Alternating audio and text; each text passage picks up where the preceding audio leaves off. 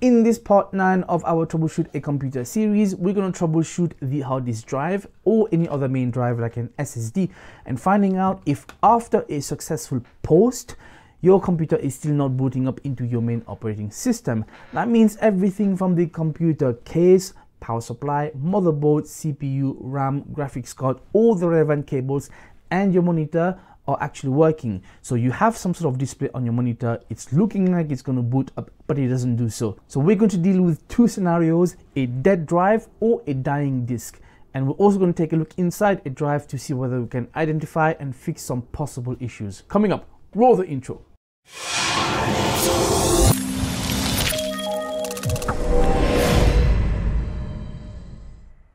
Hey name tags and welcome, this is Ash from Heal My Tech helping you go from newbie to techie. So just to make it clear again, in this part 9, we are assuming that your computer is turning on, there are lights and there are fans spinning, you do have a successful post, but you're not booting up on your computer, which means we're going to deal with the physical aspect of the drive and not the software on the drive like the main operating system like Windows. For Windows, for the OS, for software problems, we're going to deal that in part 10, which is going to be the next one. So watch out for that one. The reason I'm stressing on this is because some people, including some dodgy shops, think that by just reinstalling Windows, all your problems is going to get resolved. That's not true if you have a drive which is about to fail and certainly not true if you've got a dead drive. Also to bear in mind the troubleshoot between the two types of drive, a mechanical and SSD is slightly different in terms of noise. We'll get to that later. And of course, a huge disclaimer, if you've got sensitive data on your drive and you haven't backed up, shame on you. But if you really want to get your data off and you're not very sure about how to proceed, you should try and consult a professional like a data recovery center. But do bear in mind, they do cost quite a lot of money. So if you don't have sensitive data and if you want to give this a go, let's go ahead at your own risk. So first we need to access BIOS or UEFI and uh, the way to do this is by pressing the delete key or F2 key or F10 key or ESC key, whichever is your case. In mine is going to be the delete key. Okay. Once you're there, this is a more modern UEFI uh, layout. You may just have a simple BIOS older version layout which is not a problem. Now you have to find probably in the advanced tab or it could be on the boot order tab whatever it is. In my case here if I just click on settings and I'm going to look for something like there you go I've got a boot tab so we're going to click on that. Now on here because this is UEFI it's a bit more complicated than the older BIOS but still we can work through it. On this desktop I've got two different drives. Now if you're at this stage and uh, you can see no drive whatsoever. And I've done a video on this before you can check out that link up there. And we did not detect a single hard drive. Then it would mean that there's a problem with your hard drive okay? Uh, or it could be a problem with inside your desktop which we'll figure out later on. But at this stage just make sure you can find a drive which is actually being detected okay? Now sometimes you may find that the boot order of that drive has been changed Let's take a look at here, for example, my hard disk drive BBS priorities. Here I've got two boot options. First, there is a SanDisk, okay, and then in boot option two, there's the Hitachi, which is a storage drive. Now my SanDisk has got my Windows, and uh, that needs to be the correct first boot option selected. In some cases, it's not enough for you to just have the correct drive selected, but like in this case here if you go to the UEFI hard disk drive BBS priorities and as boot option one you also need to have something called the Windows boot manager selected as the first boot order. So just make sure you look through all the settings of your boot option and the boot order. If for a chance that your boot order has been changed just make sure you select it and place it as the first boot priority and hopefully that will resolve the problem but if at this stage you have looked everywhere, you still cannot detect your drive, then we're going to move to the next step. Okay, now let's assume your BIOS hasn't recognized your hard drive.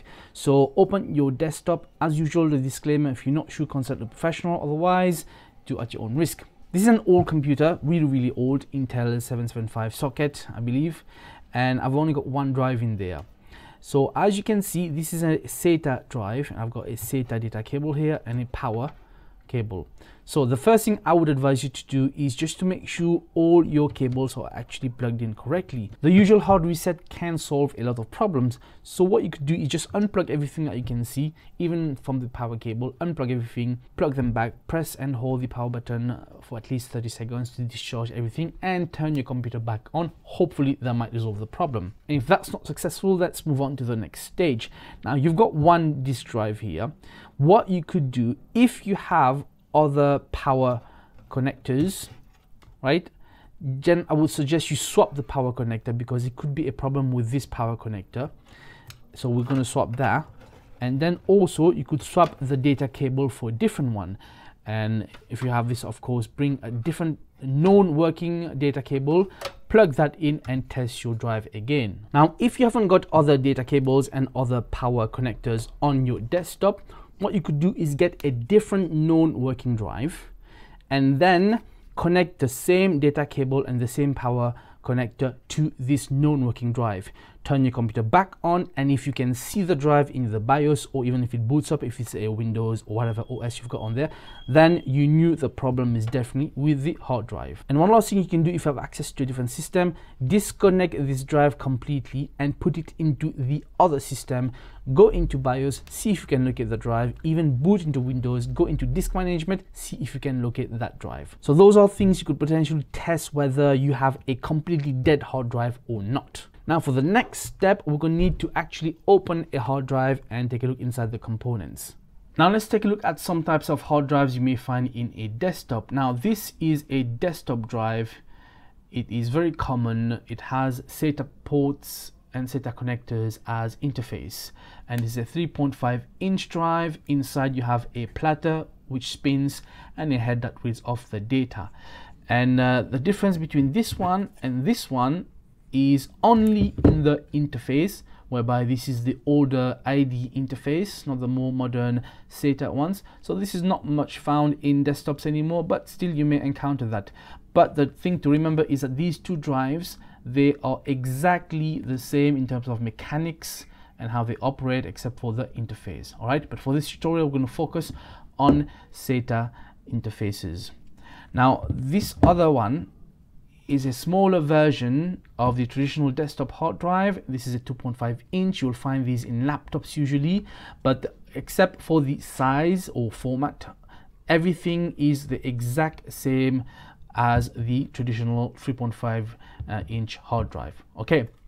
And then last but not least, you have the more modern SSD, which is similar size, sometimes even smaller than the laptop drives and also has got SATA interface. Now we're going to open up the drive, but I'm going to use the small laptop drive since I've already opened the one on the left. Before you proceed, please do remember that if you have data which is very sensitive on your disk and you haven't backed up, Number one, you're an idiot, please back up. And number two, do not try to repair any hard drive on your own if you're not a professional. You should be considering sending this to a data recovery center if your data is very, very sensitive, okay? But do bear in mind they do cost quite a lot of money.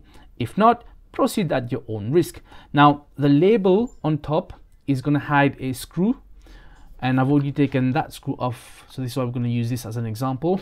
But keep in mind that you need the label because there are references on the label that you're going to need in case you need to find a similar part to replace anything that's not working okay? Now to open up any hard drive you're going to need a very small screwdriver. There are two types of screws on the hard drive. On the front side you may have what's called Torx screws and on the flip side you may have normal Phillips screws. Now if you need I would put a link below for like a screwdriver set like this one which has got different types of uh, screwdrivers Torx Phillips and flat etc okay? Amazon link as usual. Now it's very easy. There are on this side there was about one two uh, three four five six and seven screws which was Torx and I removed them. Very easy. And on the flip side there was one two three four five and six uh, normal phillips screws which i removed okay now the back of all these kind of hard drives has got a pcb and this is where the interface is also located and you can't just pick any PCB from any different types of drive because they will not match. Uh, usually the same make and model might match, but you need more than just the correct format. You also need the correct reference. Okay, just bear that in mind. And yeah, by the way, this is a completely different type of interface. This is uh, an even older one, but we don't get them anymore. But the thing to bear in mind is that every mechanical hard drive will have at the back a PCB. Okay. Now inside the casing, if you turn it around on the front cover, which can be easily removed once you've removed the screws, you're going to find that there's a platter which spins, there's a head and some magnets behind there hiding, which will move the head back and forth to read off the data. At this stage, of course, um, once you've opened your disk, there's a chance you're going to contaminate it or you can even damage it. So you may want to kiss goodbye to any data on there. Of course, in a lab, they will do this in a controlled environment. And any of these parts could become defective. There could be scratches on the disk. The head could become stuck. There's a number of different kind of symptoms that could indicate a dead or a, a failing hard drive. Now, one thing you can do in your diagnostics, if you power up your hard drive, if there's actually power, then try to feel whether inside the disk is there any spinning action happening. Also try to listen for some type of noise. Different noises on a hard drive will indicate different problems. There's this website you can refer to and try to compare the noises to possibly diagnose which type of problem you may have. Uh, also on YouTube, you will find there are some videos which have shown how to open up a hard drive and how to possibly fix a head which was stuck. It can work, it will not work in all cases, just bear that in mind. Now, if you compare this with an SSD, now in the SSD, because there are no mechanical parts, literally what you're gonna find is you're gonna find a PCB that's already got the interface integrated just like this and if you open this case and I don't want to open this one because this is a working one but if you open this case you're going to find a PCB similar to this, maybe without the circle there uh, taken off. And it's going to be a lot more difficult to diagnose in terms of sound because obviously there are no parts that's moving. So essentially, I would say that in a hard drive, there are three or maybe four levels of failure you could potentially find. You can have a faulty PCB. You could have any of the internal mechanics which is uh, not working or the third one is obviously going to be coming from your desktop or your connectors could be your data cable or your power cable so there are three or four depending how you look at it levels of failure now what is important to remember is if your BIOS is detecting something okay? But it's not detecting your hard drive like if you go into this part i'm going to show you later. That would just mean that the disk inside is damaged but the pcb is still working correctly. In that case if you only swap the pcb for a different pcb it's not going to resolve your problem because the computer is recognizing the pcb however sometimes if you have no evidence of any movement inside the drive nothing is spinning nothing is clicking it is possible that the pcb is dead and in that case it is possible you can repair your drive by just swapping out the PCB with the same one. Do bear in mind some professionals they don't recommend to do this because in some types of disk there is a microcode which links the PCB to the drive. And without advanced equipment you can't copy rewrite or repair that. But it can actually work in theory. You know what else have we got to lose obviously for that you're going to need the references on there for the exact same hard drive. Something else you could do if you plug in your drive into a different system, go into the command prompt and you do this by finding CMD in the search bar and make sure you right click and run it as administrator. And once you're there, you could uh, type in disk part. And once you're in DiskPart, type in list disk this essentially is going to list all the disk which is being recognized by Windows. Now, in my case here, I've got disk 0, 1, 2, and 3. That's four disks which are connected and are working. The other two, they are not connected. So I know they're all functioning fine. And obviously, you can always check into File Explorer as well. And uh, if you see if you can detect uh, the problematic drive into a different system. You can also open up your disk management by right clicking on the Windows icon and then select disk management. And as you can tell, I've got one, two, three, and four disks here, and the other two are not working, which is the same as a DiskPart. On command prompt, you can also type in list volume and that would be slightly different to the list disk because each disk could have more than one volume. This is to do with partition. And again we can double check that with our disk management. For example in my first disk i've got one two three and four different partitions. So essentially what that means is if in DiskPart you can see your disk but windows is still not recognizing it as a drive. That means that the PCB on the hard disk drive is working and Windows is recognizing the PCB but not the actual disk drive which could be dead. Of course if you have a drive which is actually failing but not dead yet there are some tools you could use. Some of them will come within the manufacturer's own BIOS setting. You could click on a couple of things when you access BIOS and check for the disk. If not you can use a third-party software. One that I've used before is called SeaTool for Windows if I'm not mistaken. And it's a free software you can uh, go to the link and download the software and install that. Once you've installed it you can open it. So once you launch it it's going to scan your computer for all kinds of drive and accept. And on my computer right now again remember we had one two three and four different drives. Now there are various kinds of tests you could do. Uh, for example if I wanted to test the SSD here I could just click on that and uh, go here and do some basic test. Now you can read up a bit more about the different types of tests you can do on there, but two I would recommend would be a short generic one to quickly test. However, that may not be very conclusive. A longer generic test will give you any problematic fault on there and whether it can be repaired or not. I've done this before and it did eventually find problems and I was able to replace a disk before it died. Now there is one repair which I did not include in today's tutorial and that's to do with bad sectors repair using a command like check disk. Bad sectors can happen on a disk on a disk which is about to die and it can in theory repair some aspects of the disk not all the time. But because we're going to deal with the software side in the next episode which is going to be part 10 and we're going to try to repair the boot partition or the BCD so I will include the disk check or the check disk to repair some bad sectors because we're going to have to boot from probably an installation disk anyway. And uh, a lot of people don't have access to a second computer to be able to do that and there are two ways to do it. You can do it within a drive which is actually failing as long as you can reach the command prompt or you can do it from an installation disk and then select a different uh, drive for your repair.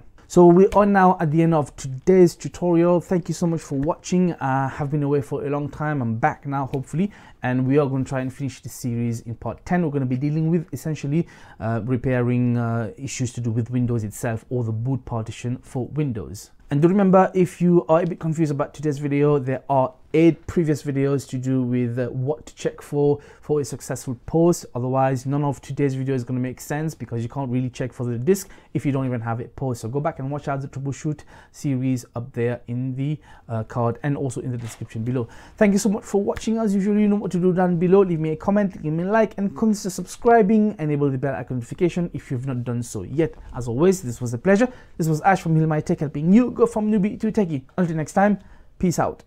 走。